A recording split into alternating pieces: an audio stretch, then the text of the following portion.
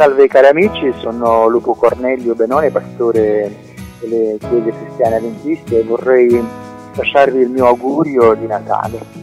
Natale è sempre un tempo di magia, di sogno, ritorniamo al tempo dell'infanzia e riviviamo un po' in questo tempo i stessi desideri. Il mio augurio è di vivere questo Natale in modo diverso che questo Natale faccia avverare i vostri desideri, ma soprattutto che vi porta al più bello e grande incontro della vostra vita, l'incontro con il bambino di Dio, il figlio di Dio.